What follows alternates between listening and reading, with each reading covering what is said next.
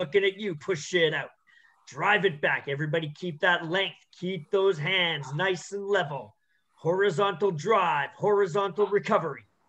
We're not letting that body flail around. We are dedicated. We're locked into the target we want to hit. We're locked into the motion we want to do. 10 seconds left. There we go. Shoulders back. Accelerate through. Feel those quads driving it out and down. Nice work.